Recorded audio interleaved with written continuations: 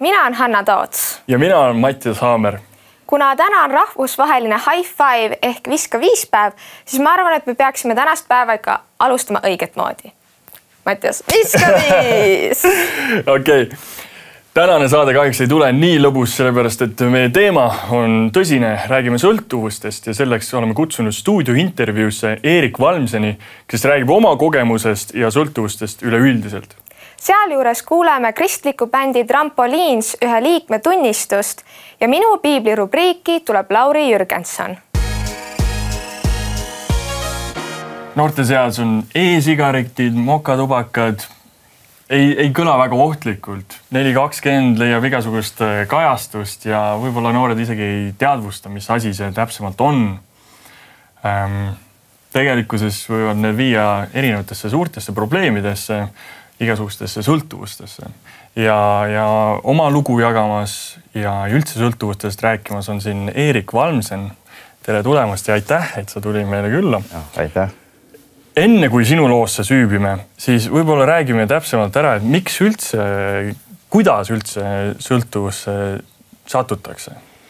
no oma kogemuse pealt äh, enesetunde küsimus, et äh, igal inimesel ongi stressitaluvus erinev. Kui mõtlen enda elu peal, siis samamoodi vajadus tähistada äh, oli minul äh,. teistel võib-olla ärevused, depressioonid, asjad äh, ja, ja see sõltuvusaine või asi, millest sa sõltuvuses oled, ongi, pakubki sulle siis nii-öelda lõõgastust äh,. mulle meeldib öelda seda reaalsuses põgenemist mm., et sa saad korraks nagu ära selle kõige keskelt mis sul on või siis või siis just, et äh, tahad ennast välja elada ja tähistada, et ma tihti mõtlengi, et nädalavahetus algab ja inimesed tahavad lihtsalt äh, minna ja tarvitada, et lõõgastuda. ja, ja põhimõtteliselt ongi, et sa sellest, sellest tundest jäädki nagu sõltuvusse, et see toit samamoodi ma tean mm,, füüsiline tegevus, sport, ükskõik mis võib olla, et. see tunne, mis ja, tekitab seda sõltuvust. täpselt, et ma ei, ma ei mõtlegi mitte millegile muule, et ma saangi olla selle, selles tundes ja, ja kõik muu nagu on kõrvale pandud. et ma ei pea nagu hetkel millegi muuga tegelema, et see enesetunne ongi lihtsalt nii hea. aga millised äh, olid sinu esimesed kokkupuuted mõnuainetega ja kas see tundus sulle alguses ka ohtlik või mitte mm,? oligi, hašišit suitsetasime nagu sama nagu kanep või õied või kuidas noored nimetavad, aga jah, siis oligi hašišit ja algul oligi, et väga ohutu. Et äh, ma olin tarvitanud alkoholi varem ja mäletan hommikuti pea valutas, halb oli olla. ma mäletan, kui ma hašišit suitsetasin, siis äh, hommikul ärkasin üles, mul oligi esimene kord, kui ma seda tegin, mõtlesin, et äh, ei ei ole nagu mitte midagi ja õhtu oli ka hästi lõbus. itsitad mitte mille, mille, millegi üle, millest sa aru ei saa, et mis asi see on. ja hästi lõbus ka, et äh, minul oli alkoholiga näiteks see, et ma muutusin agressiivseks, kui ma olin nagu äh, tarvitanud. Et äh, jah, põhimõtteliselt äh, ei tundunud väga ohtlik, et äh, sellest võiks mingi sõltuvust tekitada. ja noh, oligi pühapäeviti tegin ja kool ja kõik muu asi, et kõik nagu oli alguses korras, et. kui noor sa olid siis? ma olin kolmteist, kui ma hakkasin suitsetama jah mm., ja. Aga siis sa ei sattunud ju kohe sõltuvusse, et kuidas sa siis, kuidas sa siis äh, üks hetk leidsid ennast äh, sõltuvana? no täpselt see enesetunde teema minu jaoks oli, lein oli see tunne, millega ma lihtsalt ei tulnud toime, et ma kasvasin vanaemaga ema, enamuse ajast ja noh, vanematega olid ka väga head suhted, aga jah, vanaema oli mulle selline äh, Äh, kõige erilisem, kõige lähedasem, kes mind julgustas, kes mind õpetas ja siis, kui tema suri, ma mäletan, ma olin kuusteist ja suvevahe viimane päev, siis ma tulin rattaga töölt koju ja vaatasin, et kiirabi on vanaema elustatakse ja, ja ei, ei suudetud nagu äh, teda elu sisse saada ja siis see moment nagu mäletan, et kõik esimesed asjad, mis ma sain nagu alkohol kohe kätte helistasin kõik need tuttavad läbi, kellelt saaks kanepit suitsetada, et nagu tõesti tahtsin nagu kogu sellest valust ja sellest lihtsalt eemalduda. Ja nii see läkski kuni selleni, et nagu ongi kontaktid on olemas, kust narkootikume saada, hiljem juba amfetamiin. et äh, kõiki neid pidusid pikendada ja seda nagu reaalsusest eemal olemist äh, nagu pikemaks venitada. aga noh, lõpuks ongi see, et ükskord tuleb see pohmell, et see on, see on nagu kõige karmim selle juures, et sa pead nagu lõpuks kaineks saama ja siis oligi juba Wismari haiglad ja kõik muud asjad, mis ma olen läbi proovinud, et äh, sain aru, et tegelikult see, see, mis ma arvasin, et äh, on selline ohutu asi, lõbus, hommikul ei tekita peavalu, on tegelikult võtnud nagu väga suure pöörde minu elus, et see on selline sissejuhatus kõikide muude ainetele samamoodi kas sa siis, olles seal Wismaris ja kõiges sellistes haiglates, kas siis sa alles teadvustasid, et see on probleem või kuidas üldse teadvustada endale, et, et nüüd mul on sõltuvus või üldse nagu mingisugune probleem mm,? No tegelikult alles hiljem vanglas. et ega ma ei seal teadvustanudki, ma just mõtlesin, et see kliinikum on selline väljapääs ja tegelikult suur lõks ka, ma ütlen minu jaoks, et äh, võin, arvasin, et võin tarvitada nii palju, kui ma tahan ja ma lähen sinna kliinikumi, maksan teatud summa raha, mul pannakse tilgutid külge, tehakse süstid vitamiinid, asjad, taastatakse mu enesetunne, ma lähen sealt välja, mul ei ole nagu, mul ei olekski mingisugust pikka pidu selja taga. nagu restart minekut. ja täpselt, et okay. kolm päeva maksimum olin seal, kui oli kõige pikem kord. ja, ja siis hiljem oligi, et, et jah, pigem oli see, et mul hakkas mõistusele see kõik, närvisüsteemile kõik asjad, et noh ma veel olen proovinud kõik muud asjad ka ära, et need mürgisüstid alkoholi vastu arvasin, et kui ma nagu alkoholist olen eemal et äh, ma ei saa seda juua, ma proovisin järgi ka iga kord, et kas see süst töötab, ühes kliinikumis ei töötanud, teises töötas, et tõesti hakkasin oksendama, silmad olid nagu pun tuli punased, ei saanud hingata, et ta jah, pärsib seda kõike asja, et ta ikkagi töötab ja siis mõtlesin, et aga ma hakkasin kümme korda hullemini tarvitama tegelikult narkootikume, eks, et avastasin nagu muid uusi aineid enda jaoks.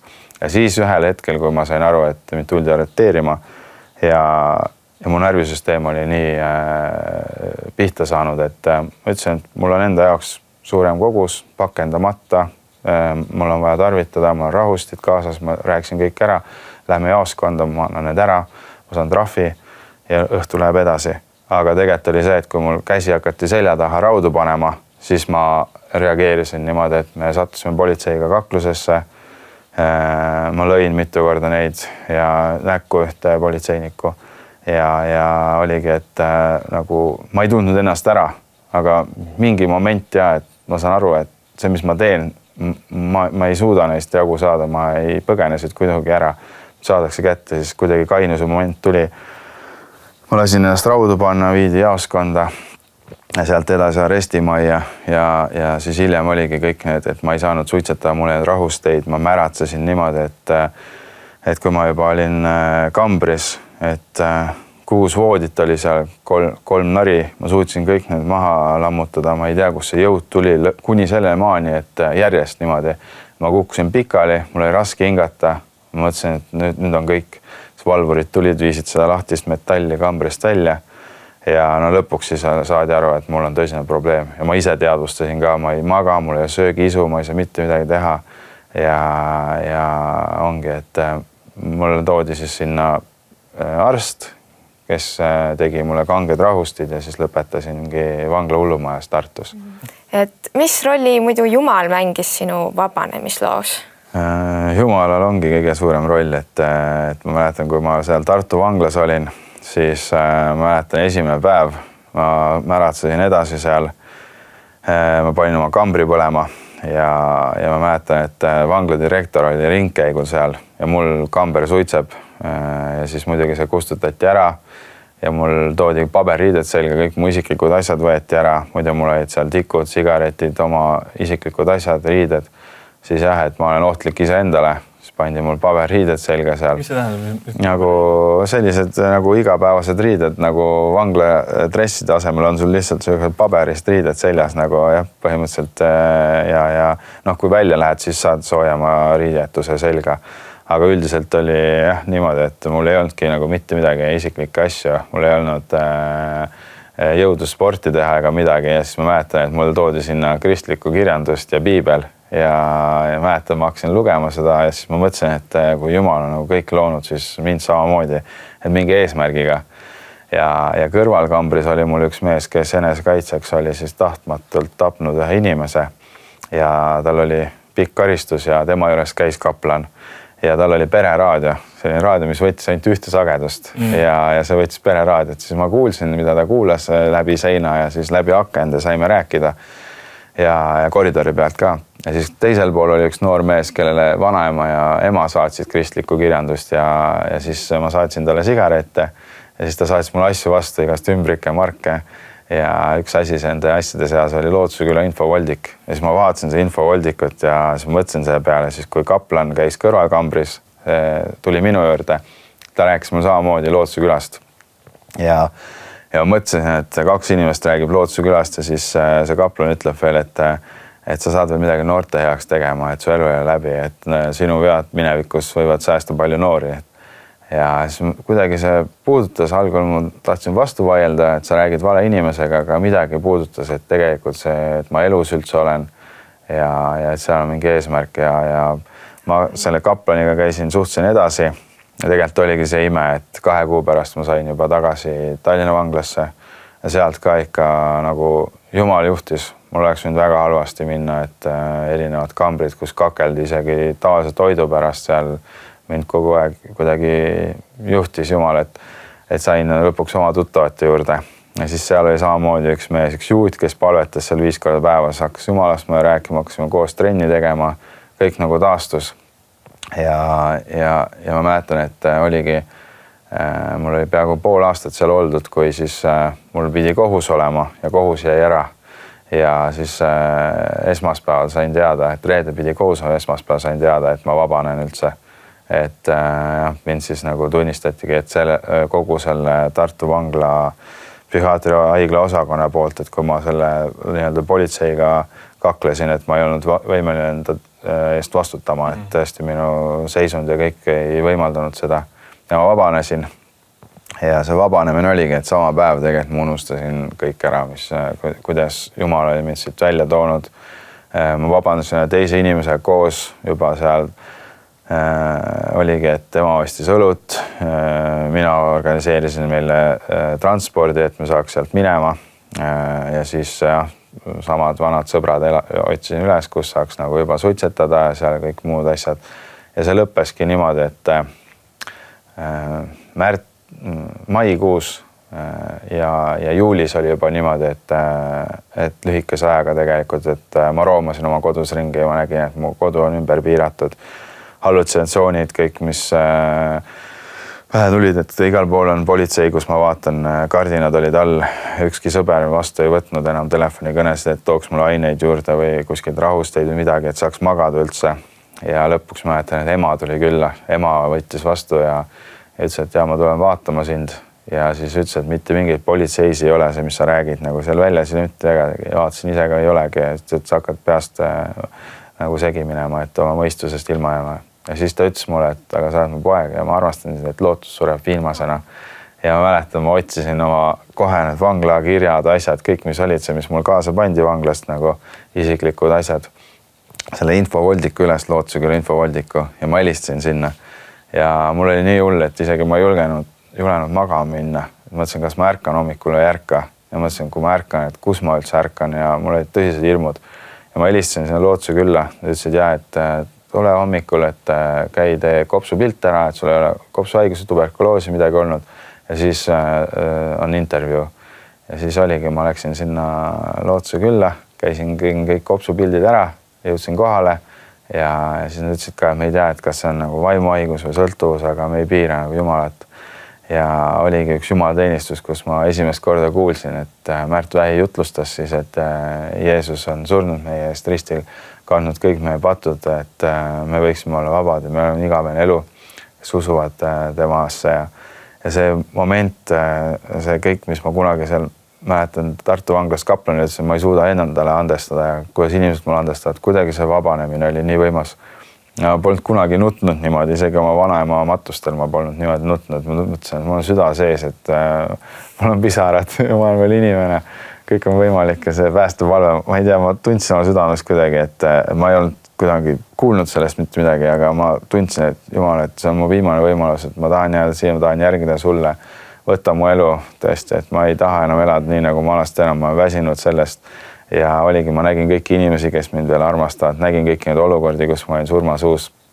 ja et Jumal on sinna oma käe vahel pannud. ma jäin sinna programmi ja, ja tõesti, et äh, kõik oma tervislik seisund taastus, äh, suhted taastusid, mäletan, et mu isa-ema said mind vaatama tulla, sain nendega ära leppida siis kõik need inimesed, keda ma nägin, tegelikult me kirjutasime seal andestuskirju inimestele, et suhteid taastada, nendega kõik head suhted ja siis programmi lõpetamisel oligi, et äh, ma sain võimaluse minna piiblikooli. et siis ma õppisin piiblikoolis, et kõik see kinnitus ja, ja piiblikoolis siis äh, Lätis äh, me hakkasime ise käima vanglas rääkimas ja, ja see oli nagu hästi kinnitav, et ma tahangi nagu seda teha, et, et, et aidata teisi, et see on selline võimalus lihtsalt ja, ja ma olen ise nagu vabaks saanud ja ma tahan nagu tagasi anda ja siis oligi, et kui tulime tagasi Läti piiblikoolis, siis olingi veel aasta aega treeningul seal Lootuse külas. ja siis läksin veel ühe piiblikooli ja siis põhimõtteliselt ongi see noortele, et eriti südames, et kui ma Taanis piiblikoolis õppisin, siis hakkasingi käima koolides rääkimas, siis andsime trenne neile. Ja, ja siis põhimõtteliselt oligi, et, et midagi sellist sain südamesse koolides anda, ennetusloenguid, olla tugiisik, kogemusnõustaja. ja siis, kui Eesti tagasi tulin, siis siin oligi nagu juba selline kristlik sporditöö jalgpalli kaudu, siis jõuti noorteni, noorte meesteni ja mu sõber oli ka Lootuse külas kunagi, sest tema oli juba Paldiskis koguduse äh, pastori kohusetäitja, nüüd ta on pastor, aga siis ja me alustasimegi seal tänaval noortele jalkatööd. Paldiskis? Paldiski linnas jah no ja siis Kuidas? ma sain aru, et äh, ma olengi nagu seal õiges kohas, mida kunagi Jumal nagu vanglas näitas see kaplani kaudu, et sa oled midagi noorte heaks tegema.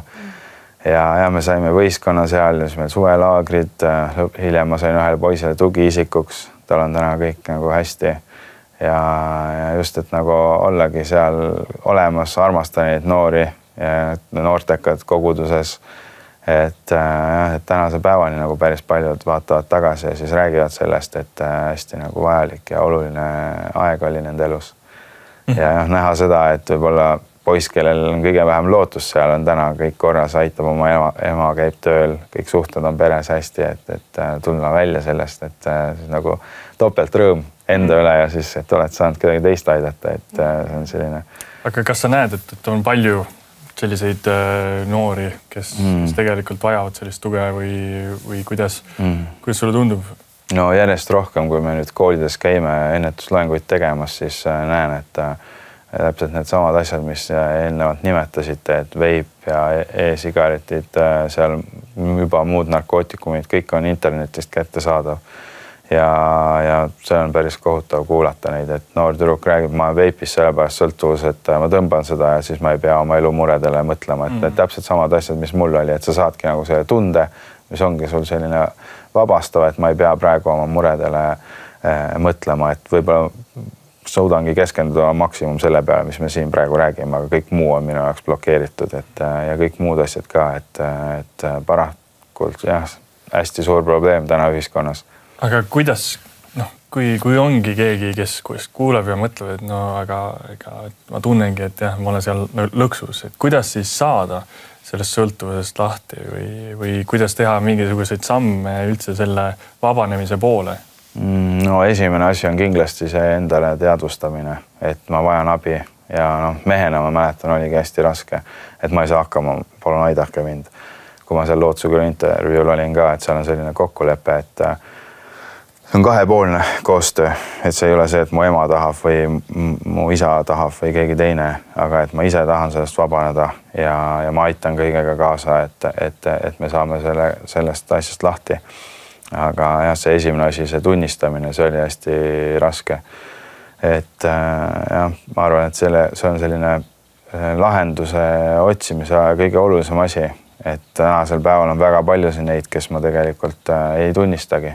Ma aitan neid ikka sinnasama kliinikumi, kus ma käisin, et saaks vähemalt sellest joobest välja inimese, aga ta ei tunnista, ta arvabki, et tegelikult see on normaalne, et et ta käib juba mitu korda on aastas niimoodi kliinikumis mm.. et noh, see on paraku jah, niimoodi, et igalühel on see lugu tegelikult erinev, et mõne, mõni on niimoodi koguduses, et äh, tuleb palvekoosolekule või kirikusse, pannakse käed peale, on vaba mm. ja, ja, ja teenib ja on rõõmus ja kõik asjad nagu koheselt äh, saavad korda. minul oli isiklikult, ma ütlen küll kuus-seitse aastat, kus mul veel tegelikult oli isegi Taanis õppides sellised flashback'id nii-öelda tulid tagasi nagu, et äh, ainetest aga jah, see ongi hästi individuaalne tegelikult läheneda igale ühele, mis need inimesed vajavad tegelikult kõige rohkem, et ma tänagi vaatan kuskil kauplustes noori inimesi, eks mõtlen, et kõige lihtsam oleks nad et välja visata sealt ja kõik. tegelikult mõtled, aga mis nende Sest vajadused ja, ja et noh, viskamegi nad siit välja, et nad võib-olla seal lärmavad ostukeskustes, mida iganes, noh, ma olengi kokku puutunud, vaatan turvamees tuleb, viskab, visatakse no välja, aga tegelikult nagu isiklik lähenemine, mis nad täna tegelikult vajavad et, et äh, mis neil puudu on või et äh, miks nad nagu teevad seda, et tegelikult äh, jah, minul samamoodi. et, et tegelikult jah, ma, ma tunnistasin endale ja siis põhimõtteliselt jah äh,, hakkasid asjad muutuma. enne seda oligi eitamistega kõikidest sõpradest jäin ilma, lähedastele valetasin iseendale, et see ainult nagu äh, lükkab edasi seda lahendamist ja tegelikult sõltuvus ainult süveneb ja süveneb ja süveneb, süveneb, kui me endale valetame. jah, aga noh, niimoodi siis kokkuvõtvalt vaadates ähm, peale seda, kui sa oled kõike seda rääkinud, kas sa kolmeteistaastasena arvasid, et midagi sellist juhtub ja midagi sellist on, kas sa nägid seda ette, kas sa, kas sa teadsid, et mina ei jää või ma jään sõltuvusse ja, ja niimoodi et kas sa teadsid seda kolmeteistaastasena mm,? absoluutselt mitte, noh, kui ma mõtlen isegi selle peale, et see seltskond, kellega me sporti tegime, isegi seal, kes on aknast alla kukkunud või kes on autoõnnetuses surma saanud, et, et ma mõtleks nagu, et ma pean neid nende matustel olema või seal seisma, et tegelikult kõik ainete tagajärjel.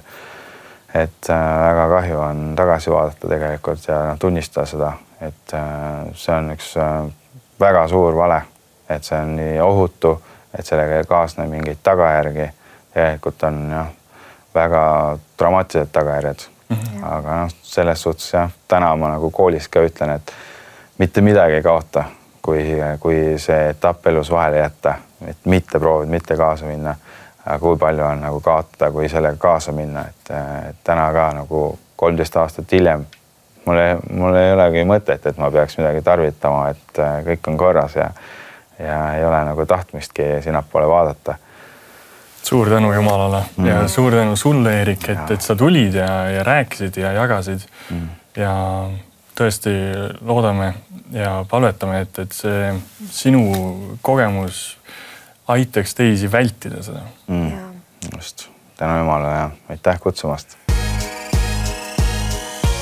Hi, my name is Carrie Terzieff. I'm in a band called Trampolines, and I tour six months out of the year. The other half of the year, I do mission work full time. You got me swimming upstream. Everybody's looking at me.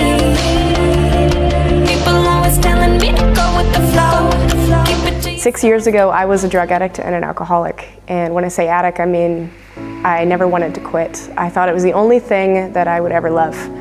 And that was really scary for me because one night I heard this voice talk to me and say, You're going to die if you keep doing this. So I asked this voice, What do I do? And this voice told me to pray. At the time, I was not a Christian, so I thought, man, I'm just crazy, I'm losing my mind. But this voice kept coming back and saying, Pray, pray, pray. And I became so afraid of dying that I did get down on my knees and I prayed and I said, God, I don't even think you're there. But if you're there, I need you to make me want to quit doing drugs. So if you can make me want to quit, then I will follow you. As soon as I finished that prayer, that voice came back and said, Call your mom. So, as crazy as I felt, I called her and she asked me to come home. So, one week later, I was driving home and I'm only one hour into the drive and I'm having withdrawals. I'm coming down and I'm panicking because I don't want to quit. And I stop at this petrol station I'm using the toilet, and right before I leave, literally at the last minute, a stranger, a woman, she turned to me and she said, Hey, can I pray for you? And I just started crying immediately. She sat there praying for me for three hours at this petrol station, sitting on the dirty floor next to me, and she was holding me and comforting me while I cried. She told me about God and Jesus. She told me how much God loves me, and I kept asking her, Why are you doing this? Why are you taking so much time on me? I'm a drug addict. And she kept saying, I love you, and God told me to pray for you. So later that night, I thought about, I thought about the whole interaction, and I realized that I was wrong about a lot of things. The reason I wasn't a Christian is because I thought the Christians were mean. I thought that they were judgmental. I thought that God was mean, and I thought that God didn't like me. But if this woman would sit there and pray for me for three hours and hold me and comfort me and take care of me. A total stranger, if she would do that for me, and if she says that God loves me, then I must have been totally wrong. God must be amazing. So I became a Christian that night. I said, okay, I'll tell people I'm a Christian and that I believe in God, but I won't go to church and I won't read the Bible. I managed to stay off of drugs for one month and I kept drinking, but I felt like it was okay that I was just not doing drugs anymore. Unfortunately, I had a relapse a month later. And I remember the morning after I relapsed feeling so hopeless. How could I have done that again? And so I became so hopeless, I decided I wanted to kill myself. And so I got up onto the roof of a really tall building and I was sitting on the edge looking at the ground below and thinking of reasons that I should not jump. And I kept thinking about this woman telling me that God loves me. And she kept telling me, God has a life for you, but you have to choose it. And I thought about, man, did I really choose the life that God had for me? Like, did I choose to love Him? Or did I just act like He was a genie and hope that He would make my problems go away and keep doing my own thing? And I realized that I didn't take it seriously. I'm going to commit to this one more time. God, please help me one more time, help me get out of this. So I decided not to jump. By the time, uh, by the time I came to that decision, the police were there with me and they were asking me to come off. As I was in the hospital, the nurse that was taking care of me realized I was having withdrawals from alcohol. Um, and she put me into a detox program. And something that I never thought ha would happen happened to me. I woke up and I thought, wow, I feel really good right now. And I don't want to do drugs anymore thought I would always miss it. I thought that I would never like my life again if I got sober. But here I was feeling joy and wanting to continue being sober. Like God made me want it like I asked Him to. I never did drugs again after that moment. I've been clean for over six years now. I met my husband three weeks later and we got married and started touring the world. Now I feel like I get to spend the rest of my life serving and celebrating and just living way better than I ever thought I would. Thank you so much for listening.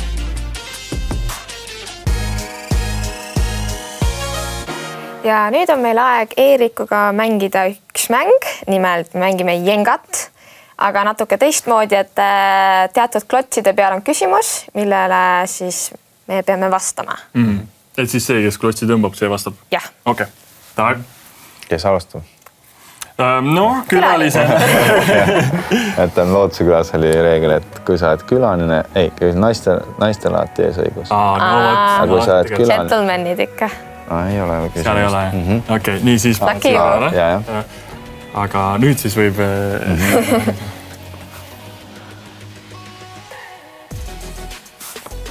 -hmm.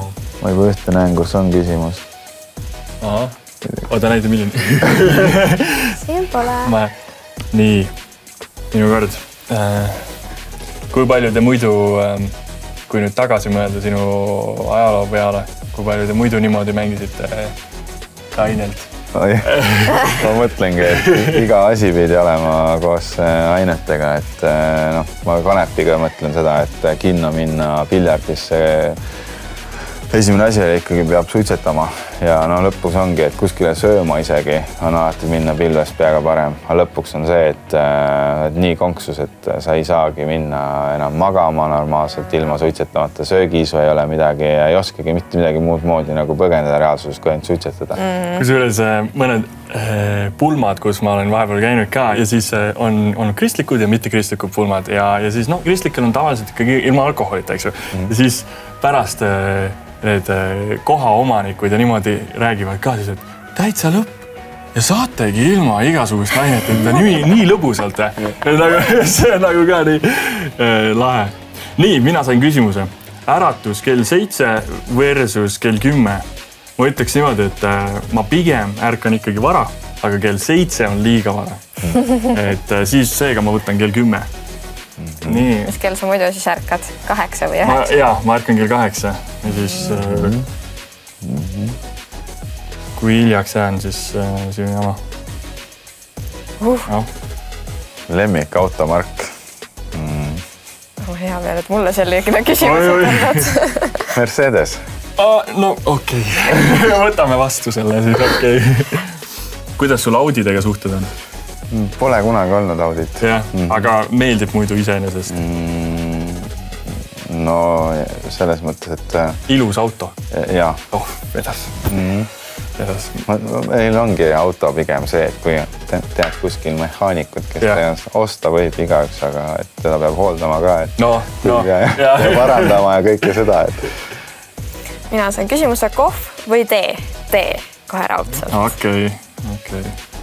Ma ei ole eriline kohvijooja. kuidas sul muidu, kas kohv on ka pigem nagu või noh, tegelikult kohv ei ole, noh, ma, miks ma küsin seda, ma nagu kohv ju on ka suhteliselt palju sõltuvust tekitav mm.. kas sellega on ka mingi teema või?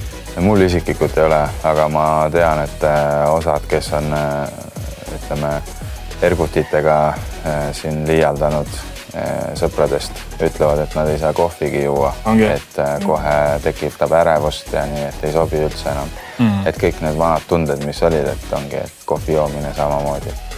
aga noh, samas on ju tee, vanglates juuakse kanget teed, et selles suhtes samamoodi, et, et äh, jah, mina joon kohvi, et äh, noh, peaks piirama muidugi. ma olen ka mõelnud. ja, ja ma ei joonud, aga jah, äh, Taanis, kui õppisin, siis ma lihtsalt tundsin esimestes loengutes, et ma ei pea vastu. ja, ja, ja no, no nii on. ja, ja see tegelikult saab nii ruttu, et äh, mul läks kuskil kuuga, kui äh, seesama kohvi, mis ma jõin muidu tunnis, et ma olin kooli lõpuni värske. mingi aeg ma võisin õhtul kodutöid tehes sellesama kohvi ära juua ja varsti magama minna mm.. tegelikult see toimub päris ruttu. ja, jah nii, aga mulle tundub, mulle tundub, et äh, jah, äkki nüüd läheb põnevamaks sellest jah. Äh, ei lähe. nii, kontoritöö või füüsiline töö? ma arvan, füüsiline töö. tõsi ka või? jah, nii. kas võtad riski või võta, võta see siit, võta niimoodi, et okay, ühe peale. proovime. annan siin halba nõu, annan. aga see on sinu enda otsus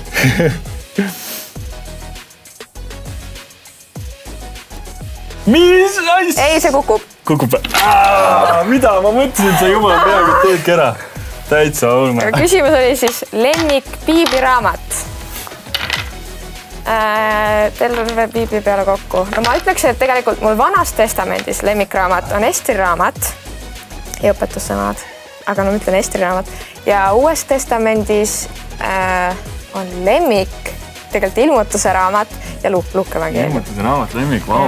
Eerik, suured tänud veel kord, et, et sa tulid ja, ja isegi mängisid meiega mängu, et ja. Äh, väga vahva. puhas rõõm, et äh, ei lisaks mitte midagi, nagu me sinna saate teema juurde tulla, et jah, rikuks ainult ära see on hea. et aitäh teile kutsumast. aitäh nüüd on äh, meie saatesse tulnud äh, Lauri Jürgenson, kes on siia tulnud oma piibliga. Ja sa oled siis Saalemi koguduse, seal Saalemi koguduses teed natuke noortetööd, et aitad seal kaasa ja õpid äh, Lennuakadeemias sideinseneriks. ma nüüd kohe küsiks ka, et äh, mida endast kujutab sideinsener, ma nagu ei jaga midagi. eks ikkagi, kui ma sõpradele üritan seletada, siis ma olen õppinud seda, et ma ei taha seletada ah. see on ikka, see on väga spetsiifiline, aga mm. võib-olla kui lihtsalt öelda, siis et lihtsalt, et, et side liiguks mm., olgu see kas õhus, olgu see kaablis, et asi töötaks okay.. see on nagu üks põhiline no aga mul on lahendus olemas, et äh, mul on telefon, sul on telefon. Okay. ma tean, ma tean, et okei. aga see on hästi lai eriala iseenesest, et see ei ole nagu, no ma õpin Lennuakadeemias, aga noh, see ei ole otseselt, see ei piirdu lennujaamaga ainult, vaid see võid väga laialt minna, kus iganes side on siis. ja, ja tänase saate teemaks siis on sõltuvused ja sinul on ka kokkupuudet sõltuvusega, nimelt arvutimängu sõltuvusega et äh, millal sa märkasid, et arvutimängude harrastamine hakkas sul nagu üle piiri minema? ütleks niimoodi, et ma seda märkasin ähm, alles gümnaasiumi lõpus. aga noh, ajalugu on mul iseenesest pikk. ma hakkasin täna, kui ma mõtleks, hakkasin mõtlema, et mul on umbes kümme aastat vist äh, olin arvutimängudes mm -hmm. ja vist oligi umbes, kui ma esimest korda nägin üldse arvutimängu, oli vist kaks tuhat viis, kui ma olin viieaastane. Et siis, siis ma nägin esimest korda, et oh, mingi pilt liigub, saab klõpsatada mm, -hmm. mees hakkab liikuma, et sellest hästi lahe. aga sealt edasi vaikselt jah äh,, mängisingi lihtsalt. aga gümnaasiumi lõpus jõudis mulle kohale, et äh, kui eksamid hakkasid tulema, siis ma pean vist hakkama õppima vaikselt, ei saa enam mängida. jaa.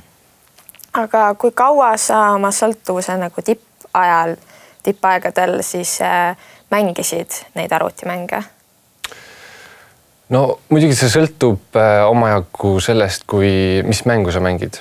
Mm.. et äh, on mänge, kus äh, võid logida sisse, võid tunni ajaga mingi tulemuse ära saavutada. Noh, see saavutamine tähendab seda, et sa saad endale hea tunde, et midagi sai tehtud. aga on ka mänge, kus sa võid, mis on kogu aeg, on nagu edasiminemises, et iga kell lähed sisse lihtsalt, lähed mõnes mõttes astud rongi peale ja hakkad sõitma, noh sümboolselt. et äh, oli ka neid mänge, kus äh, võib-olla vahepeal ma olingi nädal aega järjest mm., et äh, ärkasin esimese asjana kohe arvuti tööle ja siis äh, õhtul kella üksteist, kaksteist umbes, okei okay,, nüüd tuleks magama minna. siis nii läkski. aga midagi muud ei teinudki põhimõtteliselt siis samal ajal vahepeal või? no ütleme niimoodi, et kui nagu laupäev näiteks oli, vaata siis sai terve päev olla, aga noh, ikka koolipäevadel, kui gümnaasiumis käisin, siis ikkagi oli seda, et äh, noh, koolis tuleb ka käia, sellest ei pääsenud. aga noh, niipea kui koju jõudsin, vaba aeg läks sinna mm.. aga kuidas sa siis ähm sellest äh, sellisest harjumusest ja sõltuvusest üldse lahti said, kas, kas see roheline raamatuke sinu kõrval seal ustavalt äh, oli ka sulle abiks sellel äh, kohal? No jah, ikka oli selles suhtes ikka oli ähm,. küll nagu võib-olla no ega rohkem selles suhtes, et ma noh, olen kasvanud kristlikus peres ülesse ja saanud sealt vundamenti. olen üldse mõistnud, et ähm, et äh, on olemas Jumal, äh, kes on selle maja looja. ja siis kasvades üles selles ja üks hetk tehes oma päästepalve ristimise ära, siis äh, noh, see andis nagu vundamendi mulle, et mõista, et midagi enamat on veel olemas.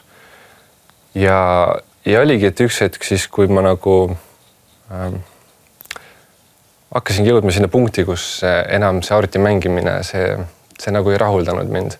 Või nagu ma sain aru, et see kuidagi noh, ma ei saanud aru, aga mingi tunne mul tekkis, et see ei ole õige. Mm.. ja õhtuti oli ka ikkagi see, et äh, ma õhtul, kui ma panin arvuti kinni, läksin voodisse, viskasin pikali ja mõtlesin, et äh, kas selline ongi see elu või? ja ma hakkasingi mõtlema, tol ajal oli ka nagu tugevalt tegelikult äh, masendust selle tõttu, sest mis ma olen teinud päeva jooksul mm, -hmm. mitte midagi mm. -hmm. nagu endal oli küll tore mängida, mängida on selles suhtes nagu pealiskaudselt lahe. aga polnud nagu midagi saavutatud ja siis see hakkas nagu mul haiget tegema. ja, ja nii ta läkski tegelikult, et hakkaski gümnaasium lõppema, nagu ütlesin. ja ma olin nagu eelnevalt ikkagi, kui me matemaatikatunnis näiteks, mul oli matemaatika oluline selles suhtes konteksti ja matemaatikatundides sõpradega ikka mängisime telefonis PUBG-d või midagi mm., et noh, tähelepanu läks sinna, noh, põnev lihtsalt, mis sa teed. ja, ja oligi, et üks hetk kuidagi nagu ei, kuidagi nagu ükskord ma sain aru, et ma pean õppima hakkama, kui ma tahan saada äh, mingigi tulemuse. ja, ja oligi nagu mit, mitu asja kulmineerusid ühel hetkel kokku ja ma hakkasingi õhtuti mõnes mõttes nagu südames appi hüüdma et jumal nagu aita mind, ma nagu tahan, südameigatsus oli, et ma tahan vabaks saada sellest. et kui mingi ime oleks võimalik, siis mm. -hmm. ja kas see juhtus siis niimoodi äkitselt saidki vabaks või see oli nagu pikk protsess ikkagi? See on selles suhtes tegelikult imeline ja ma olen, ma olen väga tänulik Jumalale, see oli äkitselt. Mm.. aga kas sa oled nüüd seda aega, mis sa kasutasid, eks ju, arvuti mängimiseks, kas sa oled seda aega ka kuidagimoodi hakanud kasutama piibli lugemiseks, piiblit eh, tundmaõppimiseks, jumalaga koos aja veetmiseks või mis sa teed sellel ajal? Mis sa teed selle ajaga? nüüd on nii palju vaba aega see on väga hea küsimus. Ja oligi, et kui ma tegelikult oligi, ma sain vabaks, ärkasingi üks hommik ja mul ei olnud seda nagu tungi, et ma tahaks nüüd jälle tagasi, näiteks koolis käisin ära. mul ei olnud üldse soovi enam arvutisse minna mm., ma nagu kuidagi nagu mul tekkis vabadus, ma ei taha, ma saan aru, ma ei taha seda enam. ja nojah, eks ma nagu rahulikult läksin edasi, mul on nüüd vaba aega ja aga noh, ma asendasingi selle enda matemaatika õppimisele, et ma nagu läksin kuidagi nii sisse sellesse, et ma hakkasin tol hetkel äh, isegi eesti keele tunni ajal matemaatikat tegema, ma lihtsalt unustasin eesti keele täiesti ära, lihtsalt tegin oma neid võrrandeid asju seal ja proovisin eelmise aasta eksami tule, neid eksameid ja aga, aga sealt edasi see vaba aeg, mis tekkis äh, sujuvalt läkski vaimulikule kirjandusele, läkski piibli lugemisse ja nagu märkima midagi erilist toimunud, aga see kõik läks vaikselt mm., mis on jah, imeline. Mm.. Aga kas äh, sul on ka muidu mõni lemmik piibliraamat või kirjakoht ja miks? mul otseselt kirjakohta lemmikut ei ole. ja mul ei ole ka lemmikut piiblit, piibliraamatut. aga mulle hullult meeldivad lood mm.. et äh, kui lugeda neid piiblilugusid siis äh, mõnikord, kui ma täiesti alguses mul, mul on üks kogemus olnud, ma võtsin lahti piibli, mõtlesin, ma hakkan nüüd piiblit algusest lugema. Võib-olla oli ka mul tookord natukene keerulisem hetk elus ja ma hakkasingi lugema ja ma lugesin alguses, alguses lõi Jumal taeva ja maa. maa oli tühi ja paljas ja pimedus oli sügavuse peal ja Jumala vaim hõljus vete kohal. võiks öelda, et nagu see nagu okei okay,, noh natuke ajalugu õpiks, aga teisalt, teisalt tol hetkel ma sain nii nagu eriliselt Jumala osadusse, ma nagu püha vaim tuli ja ma, ma tundsin sellist ligiolu. Et nagu ka siuksed väiksed asjad, kui mõni lugu muutub elavaks, siis need on minu jaoks kõige hinnalisemad oh,. Mm. et olgu see mäeütlus, olgu see suguvõsade nimekiri et kuidas Jumal annab. ja, aga suur aitäh, et sa tulid siia saatesse ja jagasid oma isiklikke kogemusi, mälestusi ja rääkisid pi oma piiblist ja, ja. suur aitäh. aitäh, et kutsusite. aitäh sulle. Ongi tänane saade lõppemas ja saate lõpuks ma olen tegelikult ka välja uurinud, et täna ei ole ainult rahvusvaheline viska viiepäev, vaid täna on Chongwenji, Changwang, Chongwenji, oota, oota, ma pean uuesti ütlema, kohe ma ütlen sulle. Xinjianji, Changwo, Chongwenji ehk siis, mis see tähendab? täna on rahvusvaheline hiina keelepäev ja vot ka outrotes saab midagi uut teada. aga Hanna. nii hao, nii hao. Hanna, kas sa teed meile ühe lõpupalve? ikka. kallis taevaisa, ma tänan sind, et sina võid meid vabastada kõigest, mis meid aheldab, mis meil takistab sinu juurde tulemast ja, ja tõesti anna meile julget südant vastu seista kõigele, kõigile nendele takistustele, mis meie eludes on. tõesti hoida oma pilku sinu peal, mitte selle möllava mere peal, mis meie ümber on. ja ma väga tänan, et sinu armastus on niivõrd suur ja et sina oled tõesti vetel päästja, kes käib vee peal ja sina tõesti suudad ja saad meid päästa. tänu selle eest. Jeesuse nimel, amen. amen aitäh, et vaatasid tänast saadet. Ja Jumal õnnistagu sind